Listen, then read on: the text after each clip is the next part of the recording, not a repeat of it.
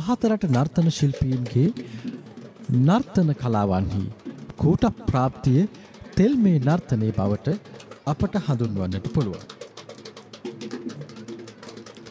මේ නර්තන කලාව ඈත අතීතයේ පටන්ම විවිධ උත්සවවලත් විවිධ සංස්කෘතිකාංගවලත් භාවිතා වන බවට අපට සාක්ෂි සාධක හමුවනවා.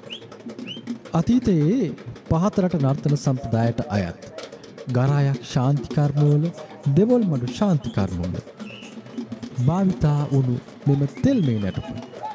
පස්සු කාලීන ලාංකේය නර්තන ශිල්පීන්ගේ උත්සාහයක ප්‍රතිඵලයක් ලෙසින් මෙලෙස පෙරහැර ප්‍රසංගයන්ටත් එලිමහන් හෝ වේදිකාගත ප්‍රසංගයන්ටත් භාවිතා කළ හැකිවන ලෙස සංවර්ධනය කොට තිබෙනවා.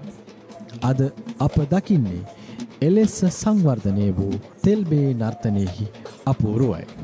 ඉහළ සිට බලන්නෙකුට මේ පෙරහැරහි විසිතුර කියා නිම කළ හැකිද. ඉතින් අප ස්තුතිවන්ත විය යුතුයි.